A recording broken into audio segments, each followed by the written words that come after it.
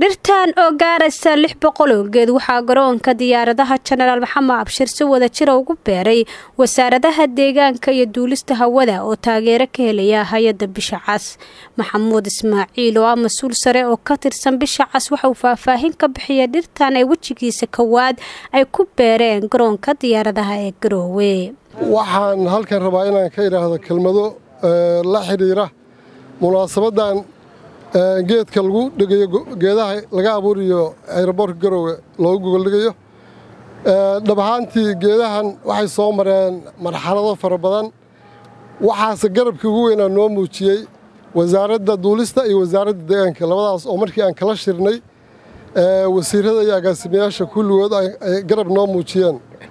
Hawshaasna ay nagala qayb qaateen. Hirgelinteediina waxaan dhihi karnaa iyaga haddaysan hawshaas guntiga dhiisha u xiran mashruucan ma hergaleen. Wasiirka wasaaradda duulista hawada iyo garoomada dowladda puntland iyo wasiirka wasaaradda deegaanka iyo isbeddelka cimilada puntland ayaa soo dhoweeyay cagaarinta garoonka diyaaradaha. Sidoo kale waxay sheegeen inay ku soo kordhin doonto qurux iyo bilic.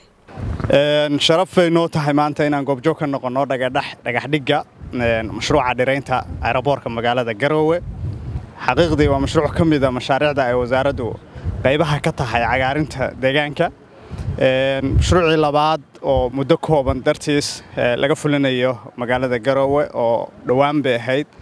Shaarica weyn ama waddada weyn oo wasaaradaha ay dhiraysay wasaaraddu maantana waxaannu qayb ka nahay annagoo kaashanayna oo qayb ka ah hay'adda ururka bisha cas iyo wasaaradda duulista hawada inaannu dhirayno. Oo qayb ka ahaano lix boqol oo geed oo lagu beerayo ayroboorka magaalada garoowe runtii faa'iidada iyo muhiimadda ay leedahay cagaarintu iyo dhirayntu ma sheegayo oo hadde waa la wada ogsoon yahay. Laakiin waxaan rabaa inaan u caddeeyo bulsho weynta reer puntland in cid kasta iyo xilli walba iyo goob walba oo diyaar u ah cagaarintana nagala qayb qaadanaysa ay wasaaradduna diyaar u tahay inay ka qayb qaadato. Runtii maanta farxad bay noo tahay in aan halkan ku dhagax dhigno mashruuca cagaarinta iyo qurxinta iyo dhiraynta airboortka genaraal maxamed abshir international ee garowe oo ay iska kaashadeen wasaaradda deegaanka iyo wasaaradda duulista iyo hay'adda bisha cas. Runtii waa uga mahad celinayaa wasaaradda deegaanka iyo wasaaradda iyo hay'adda bisha casba. Muggii iyo gacantay ku lahaayeen mashruucan taabagelintiisa. Airboortkana mashruuca kan wuxuu u siyaadin doonaa qurux. Muddaa mashruucan dhiraynta lagu taamayey laakiin waxa weeye maanta buu inoo suurta galay waana uga mahad celinaa runtii hay'adda bisha cas iyo iyo wasaaradda deegaankaba. Insha allahu tacaalana waxaan ku mintidi doonaa inuu shaqeeyo oo lixda biloodah soo socotana insha allah hadda gacanta ku sii hayn doonto hay'addu.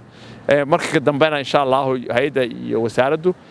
Marka dambena insha allahu ay maamulka airboortka loo wareegi doonaan. Waxaana rajaynaynaa nidaamka casriga loo suurtageliyey oo geed walba uu helayaa insha allahu inay muddo dhowba qurux iyo cagaar inooga soo baxdo. Insha allahu waxaanuna ku xijin doonaa airboortka boosase laftigeeda shuur casamad gaashaan warbaahinta dowladda